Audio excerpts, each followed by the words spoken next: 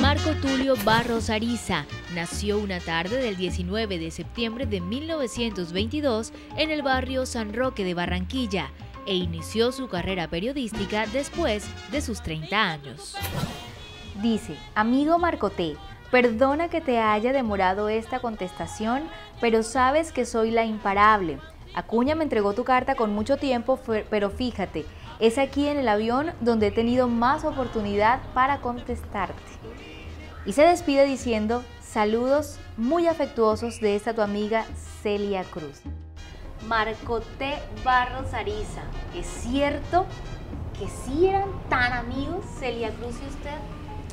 Eh, yo conocí a Celia Cruz en el año 55, soy barranquillero y trabajaba en el terminal de Cartagena, modestia aparte, como jefe de personal.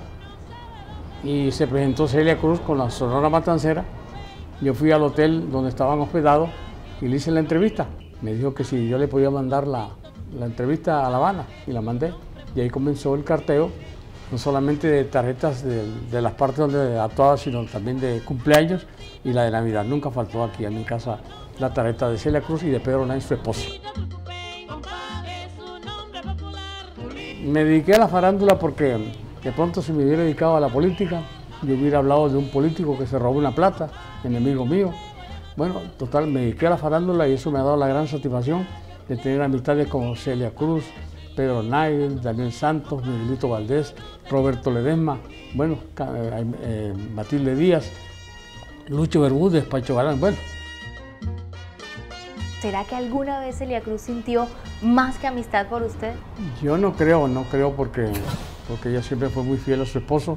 Y aparte de eso, mucha gente se ha imaginado que yo tuve relaciones con ella, no, pues no, no, absolutamente, absolutamente. Ella me apreció mucho y prueba de eso de que usted ha visto la cantidad de tarjetas. Marco de Barros, el hombre de la corbata. Eh, creo que empecé a usar corbata desde la primera comunón mi mamá me,